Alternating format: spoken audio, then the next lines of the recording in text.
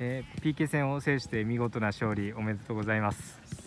まずは今日の試合の振り返りをお願いします。今日押し込まれる時間が長かったんですけど守りきって勝ててよかったです。ありがとうございます。